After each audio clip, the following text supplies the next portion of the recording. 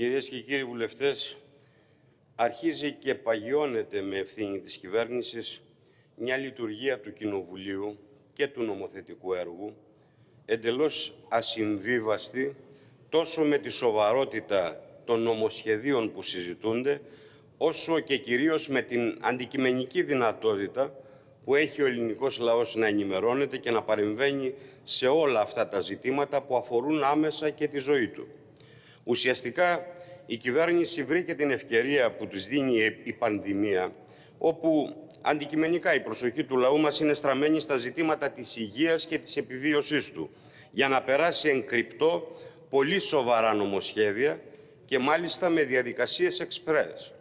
26 νομοσχέδια φέρνετε μέχρι τέλη Ιουλίου.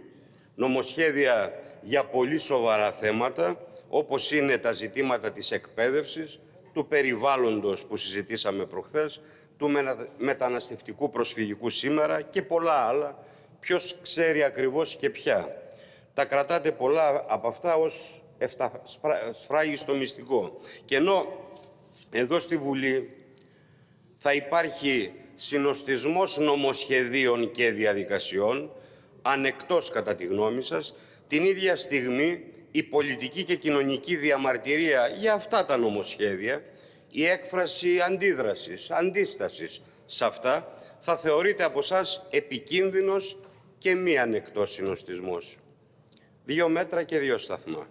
Το λιγότερο συνεπώς που πρέπει να κάνετε είναι να μην επιχειρήσετε να περάσετε εν μέσω υγειονομικής κρίσης νομοσχέδια που λόγω της σημασίας τους θα έπρεπε να εξασφαλιστεί και ο χρόνος και η απαραίτητη ενημέρωση, αλλά και η κινητοποίηση του ελληνικού λαού και των φορέων του, όπου οι ίδιοι βεβαίως εκτιμούν και όπου αποφασίζουν ότι χρειάζεται. Σας το έχουμε πει από την πρώτη στιγμή.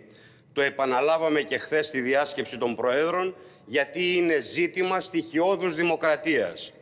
Ένα τέτοιο νομοσχέδιο που λόγω της σοβαρότητάς του δεν θα έπρεπε να έρθει σε αυτή τη φάση και με αυτές τις συνοπτικές διαδικασίες είναι και το σημερινό νομοσχέδιο του Υπουργείου Μεταναστευτικής Πολιτικής.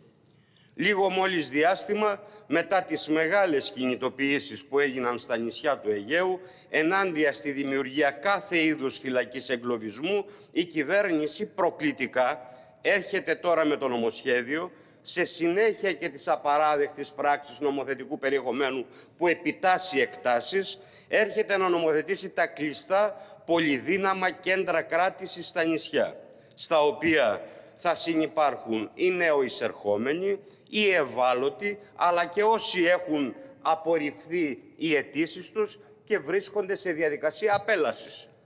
Ενώ με το ίδιο νομοσχέδιο προχωράτε και στη δημιουργία κλειστών κέντρων στην υπηρετική Ελλάδα. Και όλα αυτά τα κάνετε εν μέσω μιας πανδημίας που δεν έχει ακόμα ξεπεραστεί και που είναι πιθανόν, όπως όλοι λένε, να επανέλθει το φθινόπωρο, ίσως δρυμύτερη.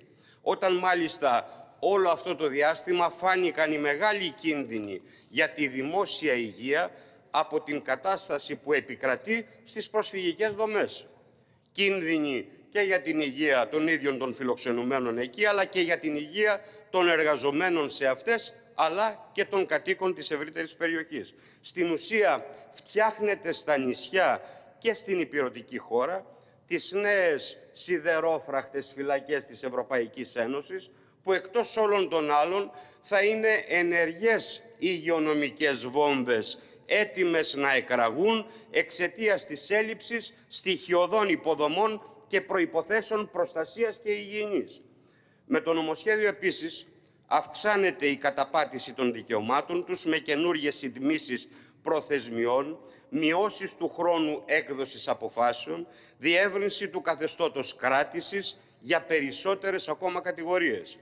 Για τα ανήλικα παιδιά μάλιστα καταργείται αυτό το τεκμήριο το οποίο παρήχε την αναγκαία προστασία μέχρι να αρθούν οι όποιες αμφιβολίες για την ηλικία των παιδιών ώστε να τους παρέχονται τα αναγκαία προστατευτικά μέτρα.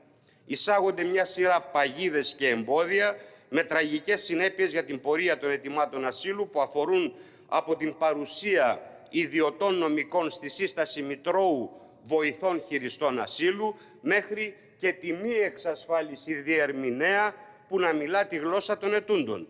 Είναι χαρακτηριστική η διατύπωση για διερμηνία σε γλώσσα που θεωρείται ότι κατανοεί ο ετών και όχι σε αυτήν που πραγματικά ομιλεί. Με ό,τι βέβαια αυτό μπορεί να σημαίνει για την πορεία της αίτησης. Καταργείται και μάλιστα αναδρομικά από 1η Πρώτου 2020 ακόμα και η δυνατότητα χορήγησης άδειας διαμονής για ανθρωπιστικούς λόγους. Όσο για την υπηρεσία ασύλου, όχι μόνο δεν προβλέπεται καμιά κάλυψη των αναγκών με το αναγκαίο μόνιμο προσωπικό, αλλά χτες ο Υπουργός έκανε σαφές ότι δεν πρόκειται να ανανεώσει τις συμβάσεις των 17 έμπειρων υπαλλήλων που απολύθηκαν. Στο ίδιο νομοσχέδιο όμως που πετάει στον ΚΕΑΔΑ και τα θύματα τους ξεριζωμένους υπάρχουν μια σειρά ρυθμίσεις διευκόλυνσης. Διευκολύνεται για παράδειγμα ξένους λεφτάδες, όσους θεωρείται ότι φυσάνε τον παρά και τις οικογένειες αυτών, χορηγώντας τους άδειες διαμονής και χρυσές βίζες, μπας και κάνουν καμιά business δηλαδή. Διευκολύνεται επίσης την παροχή φτηνού και ευέλικτου εργατικού δυναμικού, ασκουμένων χωρίς κατοχυρωμένα δικαιώματα. Διευκολύνεται ακόμα Αμερικάνους υπότροφους του Ιδρύματος Fulbright να εκδίδουν γρήγορες και ευέλικτες θεωρήσεις εισόδου στο πλαίσιο της εμβάθυνσης της εμπλοκής της Ελλάδας στους σχεδιασμούς των Ηνωμένων Πολιτειών, της Αμερικής, του ΝΑΤΟ και άμπλυνσης βεβαίως του αντιαμερικανισμού εκφρασμένος πολλά, για πολλωστή φορά στόχος της, της πρεσβείας εδώ στην Ελλάδα της Αμερικάνικης πρεσβείας και που βέβαια αντιυμπεριαλισμός που υπάρχει έτσι κι αλλιώς μέσα στον ελληνικό λαό. Τέλος, συνεχίζεται την πολιτική όλων των μέχρι σήμερα κυβερνήσεων με τα λεγόμενα μυστικά κονδύλια που με το νομοσχέδιο η κυβέρνηση τα εισάγει και στο Υπουργείο Μετανάστευσης. Η εξέλιξη αυτή συνδέεται με την κλιμάκωση, κατά την άποψή μας, της καταστολής και του φακελώματος και με στρατιωτικά μέσα, με τη συνδρομή Frontex και ΝΑΤΟ, με τις παράνομες επαναπροωθήσεις στο όνομα δήθεν της αποτροπής. Μια πολιτική που ξεκίνησε ο ΣΥΡΙΖΑ όσο αυξάνονταν τα κύματα των προσφύγων και που τώρα απογειώνει βέβαια η Νέα Δημοκρατία. Και αυτό το νομοσχέδιο κινείται στο πλαίσιο της απαράδεκτης, της εγκληματικής συμφωνίας Ευρωπαϊκής Ένωσης Τουρκίας που υπέγραψε ο ΣΥΡΙΖΑ, εφαρμόζει η κυβέρνηση της Νέας Δημοκρατίας στο πλαίσιο της μετατροπής της χώρας μας σε φυλακή της Ευρωπαϊκής Ένωσης για τους πρόσφυγες και τους μετανάστες. Η ελληνική κυβέρνηση διαπραγματεύεται με την τουρκική κυβέρνηση για τις τύχες των ξεριζωμένων προσφύγων σαν καλές φιλενάδες. Την ίδια στιγμή που εντείνονται οι τουρκικές προκλήσεις σε βάρος κυριαρχικών δικαιωμάτων της χώρας. Και όλα αυτά τη στιγμή που η Συμφωνία Ευρωπαϊκής Ένωσης Τουρκίας έχει προπολού στα, λίστα, στα αζήτητα από την τουρκική κυβέρνηση. Και με την ευκαιρία έχετε το θράσος να εγκαλείτε το ΚΚΕ μέσα κυρίως από τις φυλάδες της παράταξής σας, όπως η Εστία και άλλες της αμαρτωλής ακροδεξιάς, γιατί λένε στείλαμε μήνυμα αλληλεγγύη στην Πρωτομαγιά στο Κομμουνιστικό Κόμμα Τουρκίας και στο τέλος, λέει, του μηνύματος, ο Γενικός Γραμματέας του κόμματος, εγώ δηλαδή, απευθύνθηκε, όπως άλλωστε συνηθίζεται από όλους, στη γλώσσα τους με το σύνθημα «Ζήτω η εργατική πρωτομαγιά και η ενότητα των εργατών» και διάφορα τέτοια.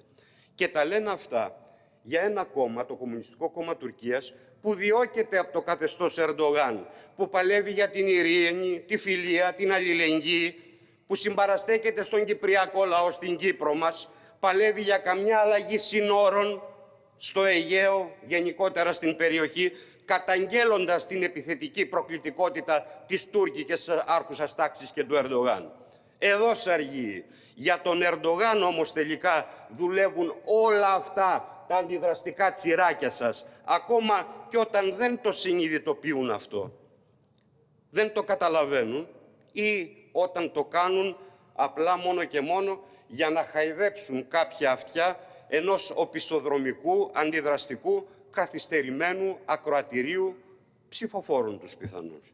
Απέναντι σε αυτή την εκρηκτική κατάσταση που διαμορφώνεται για πρόσφυγες, για μετανάστες, για τους νησιώτες μας, για τον ελληνικό λαό συνολικά, η μόνη διέξοδος και λύση για την αντιμετώπιση του προβλήματος βρίσκεται στην θέση του ΚΚΕ για κατάργηση εδώ και τώρα του κανονισμού του Δουβλίνου, της Συμφωνίας Ευρωπαϊκής Ένωσης Τουρκίας, ώστε οι πρόσφυγες να πάνε στις χώρες προορισμού τους, να δοθεί δυνατότητα υποβολής αιτήσεων ασύλου στο έδαφος της Τουρκίας και απευθείας μετακίνησης στις χώρες προορισμού τους, να γίνονται σεβαστά τα δικαιώματα των ετούντων άσυλο, έτσι όπως προβλέπεται από τη Συνθήκη της Γενέβης.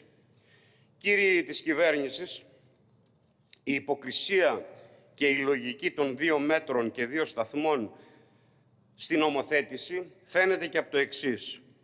Ενώ δεν χάνεται ούτε στιγμή στην κατάθεση και ψήφιση αντιδραστικών αντιλαϊκών νομοσχεδίων που τα απορρίπτει η συντριπτική πλειοψηφία των φορέων τους οποίους αφορά και συμμετέχουν στη διαβούλευση, δεν δείχνεται τον ίδιο ζήλο για να φέρετε λύσεις στα υπαρκτά, άμεσα, πολύ σοβαρά προβλήματα που αφορούν ολόκληρους κλάδους και κατηγορίες εργαζομένων. Τέτοια προβλήματα, για παράδειγμα, είναι αυτά που αφορούν άμεσα και επίγοντα προβλήματα που αντιμετωπίζουν οι καλλιτέχνες, οι δημιουργοί, συνολικά οι εργαζόμενοι στο χώρο της τέχνης και του πολιτισμού. Ένα χρόνο που διαχρονικά μαστίζεται από ανεργία, από περιστασιακή απασχόληση. Η πανδημία του κορονοϊού διόγκωσε στο έπαρκτο τα προβλήματα αυτών των εργαζομένων. Κάθε δραστηριότητα σε όλους τους τομείς απασχόλησής τους φεστιβάλ, κινηματογράφους, θέατρα, συναυλίες, μουσικές, θεατρικές σκηνές, χώροι ψυχαγωγίας, εκπαίδευση, τηλεοπτικά γυρίσματα και άλλα διακόπηκαν. Με αποτέλεσμα η πλειονότητα των εργαζομένων σε όλους τους χώρους και ειδικότητες του πολιτισμού και να μην έχουν στοιχειοδός εισόδημα, ενώ παραμένει άγνωστο το πότε και με ποιες προϋποθέσεις θα επανέλθει κανονικά η καλλιτεχνική δραστηριότητα. Το ΚΚΕ από την πρώτη στιγμή συμπαραστάθηκε σε όλες τις διεκδικήσεις τους, στα σωματεία τους, στις πολύμορφες κινητοποίησεις τους και υιοθέτησε το δίκαιο έτοιμά τους για άμεση λήψη ολόπλευρων και ουσιαστικών μέτρων στήριξης για το σύνολο των εργαζομένων στον χώρο της τέχνης και του πολιτισμού, ώστε να εξασφαλίζεται στοιχειοδός η επιβίωσή της. Η επιβίωσή τους. Παρά τις μεγάλες κινητοποιήσεις τους, και μετά τις μεγάλες αυτές κινητοποιήσεις ανακοινώσατε κάποια ημίμετρα χτες. Το ΚΚΕ έχει καταθέσει μια ολοκληρωμένη πρόταση νόμου για όλο το χώρο του πολιτισμού. Με την πρόταση νόμου ανάμεσα στα άλλα, το ΚΚΕ προτείνει επίδομα στήριξης για όλους τους εργαζόμενους στον κλάδο της τέχνης και του πολιτισμού. Ομοίως για τους αυτοαπασχολούμενους καλλιτέχνες δημιουργούς και για κάθε μικρή επιχείρηση πλην ανωνύμων εταιριών. Επίσης προτείνονται απαλλαγές από υποχρεώσεις καταβολής τόκων προστήμων υποχρεώσεων προς ασφαλιστικά ταμεία, του τέλους επιτιδεύματος, του ένφια, επίδομα στέγασης, αναστολή κάθε μέτρου αναγκαστικής εκτέλεσης και ίσπραξης, δέσμευσης τραπεζικών λογαριασμών, κατασχέσεων και άλλα. Για τους μακρόχρονα άνεργους αυτού του κλάδου, να ενταχθούν στο επίδομα ανεργίας χωρίς να απαιτείται η συνδρομή των όρων και προϋποθέσεων της ισχύουσας νομοθεσίας για την χορήγησή του μέχρι και την άρση κάθε περιοριστικού μέτρου. Επέκταση της χορήγησης της αποζημίωσης ειδικού σκοπού των 800 ευρώ σε όλες τις κατηγορίες εργαζομένων, αυτοαπασχολουμένων, των πολύ μικρών επιχειρήσεων που δραστηριοποιούνται στον κλάδο της τέχνης και του πολιτισμού και οι οποίοι αποκλείστηκαν από τις προηγούμενες κυβερνητικές ρυθμίσεις. Ειδικά προγράμματα στήριξης του Υπουργείου Πολιτισμού και επιχορηγούμενες παραγωγές της περίοδου 2020-2021, όπως αγορές και αναθέσεις από το κράτος και τους φορείς του καλλιτεχνικών έργων ή καλλιτεχνικών υπηρεσιών σε κάθε είδους τέχνης, κατόπιν ανοιχτής πρόσκλησης ενδιαφέροντος ή με πανελλήνιο καλλιτεχνικό διαγωνισμό. Αύξηση του ποσοστού του ελληνικού ρεπερτορίου, καθώς και του ποσοστού μίσθωσης ταινιών μυθοπλασίας και τεκμηρίωσης στον ραδιοτηλεπτικό χρόνο.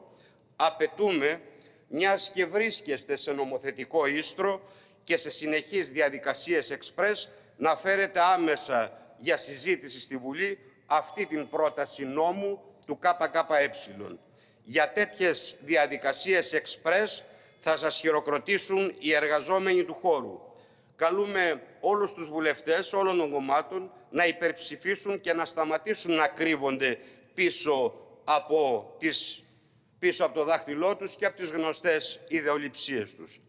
Τελειώνοντας, αξίζει να μνημονεύσουμε και από αυτό εδώ το βήμα ότι στις 9 Μάη του 1945 ολοκληρωνόταν η αντιφασιστική νίκη των λαών, μπήγοντας στην καρδιά του ναζιστικού τέρατος το σπαθί των λαών με την αποφασιστική συμβολή κυρίως της τότε Σοβιετικής Ένωσης και του Κόκκινου Στρατού, των αντιστασιακών παρτιζάνικων ένοπλων δυνάμεων σε όλες τις κατεχόμενες χώρες της Ευρώπης.